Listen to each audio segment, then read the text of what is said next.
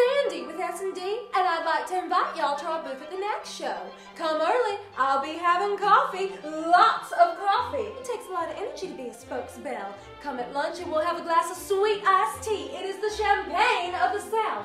Later, we can have four or five of these perfect iced coffees as a pick-me-up. God is my witness, I will never be sleepy again. Anyway, we'll see y'all at the NACS show, booth 7333, okay? Hi, this is Steve Holtz for CSP TV, and I'm coming to you today from the Olympic Park here in Atlanta as we prepare for the NACS show, which begins next week.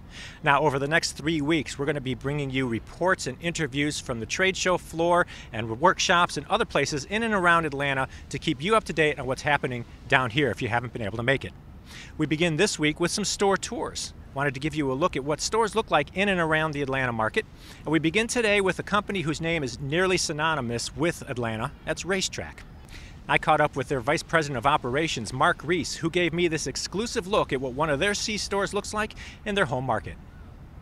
Well, Mark, appreciate you joining us. Um, tell me about this site. How old is it, uh, size, and things like that? Yeah, it's um, it was built in December of last year, so uh, almost one year old, um, and it's a 5,000 square foot store. Okay. It's a big site overall, inside and out, and that's sort of the direction you said you guys are going. Why is that? Yeah, with um, you know, for the longest time, we've had gas as our biggest um, draw to the stores, and uh, what we noticed is if we didn't build the lots larger and, and put parking spots in, uh, we do a great gas business, but people just weren't coming inside as much. So, uh, we really tried to differentiate the um, the fuel island from the inside the store. So started putting in at least 30 parking spots per store and just building on a much larger lot just to get that, that inside draw uh, a little heavier. You've also boosted the, the food service program by moving it forward a little bit, giving a little, uh, making it a little easier to see when you walk in the door. What's going on there? Yeah, right. Um, so again, as, as, you can see in the store, we um, uh, we had three roller grills, um, and they would sit towards the back of the store um, by the sandwich cooler. Really um, redesigned the store, moved the, the food service up front so it hit you as you walked in the door. Um, put in a hot case so that we would sell hot um, sandwiches in the morning and, and, and, and, fresh cookies in the afternoon and evening, and then a hot lunch as well. So uh, moved all that up front, um, expanded the sandwich cooler. Um, really put a big focus on it from a marketing perspective and internally. We brought a chef on board a little over a year ago as well, and uh, it's really helped the overall food service business driving uh, around Atlanta as I have been this week, um, yeah. I've noticed some of your radio commercials and billboards for beer.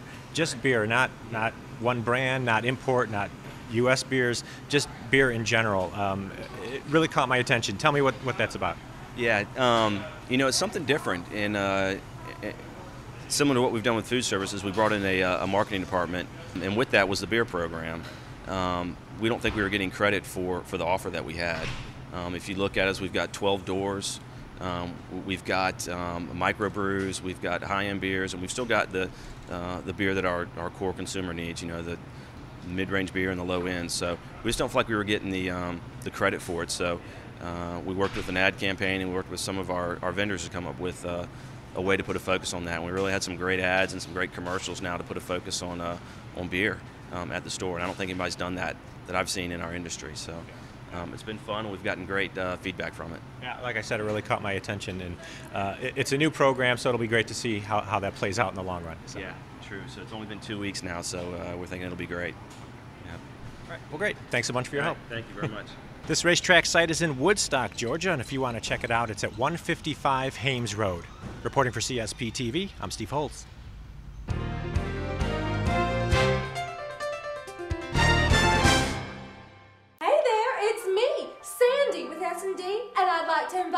Invite y'all our booth at the NACS show.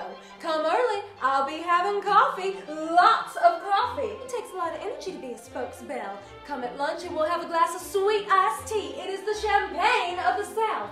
Later, we can have four or five of these perfect iced coffees as a pick-me-up. God is my witness, I will never be sleepy again. anyway, we'll see y'all at the NACS show, booth 7333, okay?